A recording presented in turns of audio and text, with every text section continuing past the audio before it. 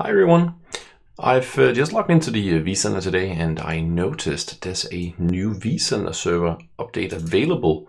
Now I click down here and I can actually also see it says here updates available. So this is always exciting, but if you remember from one of the previous videos, we uh, already updated the host itself from 7.0 to 7.0 update 1. So most likely what's happened here is that the vCenter is also available. So looking at the dates here, we have some uh, older uh, updates here, and it, seems like there's also a, a newer one here uh, from October 22nd. So from here we can see some information like the bills and, and so on, and we can see the link to the release notes, but how do we actually get started? Good question. Well, if you remember, we had the uh, VAMI, the so-called vSphere uh, vCenter Server Management Appliance interface. And with this one, I'm just going to log in with the root account. Note saving that. So if we take a peek here, we have the version number. We could do a quick uh, Google here and search for that and see that it looks like we are on 700 uh, release D. And uh, if we then click down here, we have update. Click on this and we'll be able to uh, hopefully in just a second see some uh, updates that are available. Uh, nothing available interesting. Uh, let's try and uh, take a look again. Should be something here at least, since we saw that before. Okay, interesting, it didn't pop up. Okay, so from here we can see there's a uh, 701, so let's take a look. So before we had 700D, put that in here. You can see that would take us to 70 update 1A.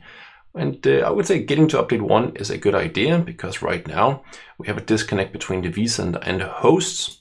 And uh, you could say, well, what, what kind of difference does that make? Well, uh, I'll give you a quick example here. So I'm back in the vSphere client, create a new machine, create a new VM, next, uh, next. Would have to go and select the host, next. Pick some data store here, next. Then notice here it says compatible with. So this should show certain piece of information here, but now we see there's a new version number here, but it doesn't get correctly displayed because the vCenter doesn't know about this version. So it can probably work with it, but this will most likely cause some funny business down the, the line. So let's cancel out of this and go back.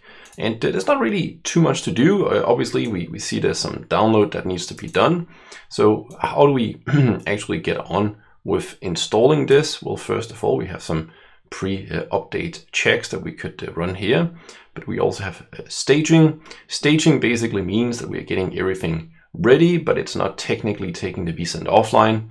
And then in, in the end, we could do the stage and install. So why don't we run this pre-update check and see what happens.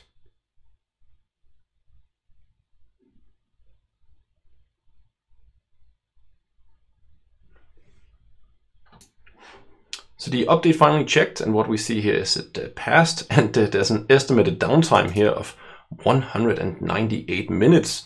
Quite a lot, but uh, okay, uh, it needs to download everything. I guess it has to try and estimate how long that's going to take and, and so on. But anyway, that the download itself, of course, should not cause any downtime. So let's uh, click stage and install. Uh, obviously, if this was a production environment, you would want to plan this out, but here basically this is just a home lab, so uh, I'm okay with some downtime on the vCenter. In general, running uh, updates on the vCenter will just mean that you can't manage the host. The host will continue running, of course. The virtual machines will continue being available. So in general, it's really not a big deal.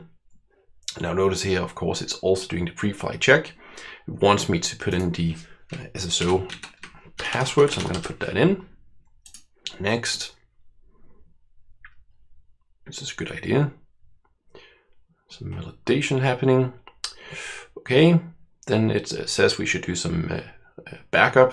That's a good idea. So how do we actually do that? Well, we would have to go to backups.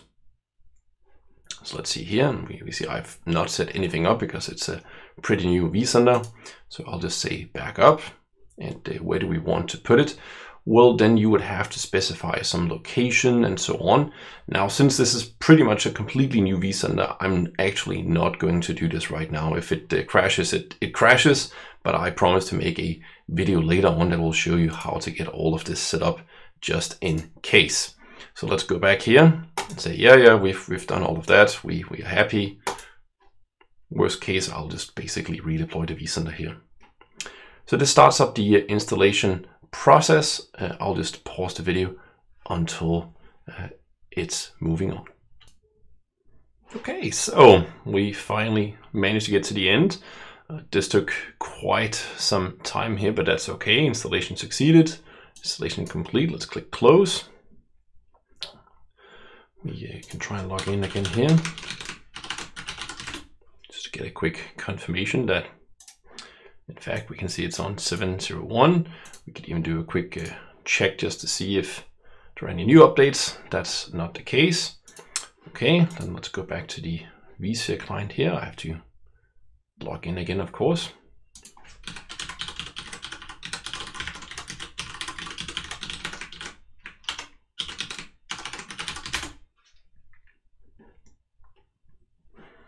Close these windows up here as well while we're at it.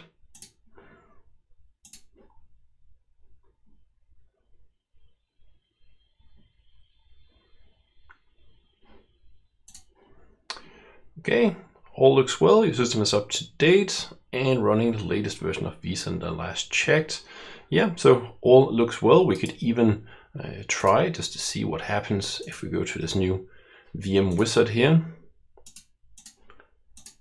Next, click the data store, compatibility, and we see now the naming is being shown up correct. So hopefully uh, you will be able to replicate this and um, get to the same result in, in your lab. Hope the video was useful. Don't forget to subscribe and like this video. Thank you.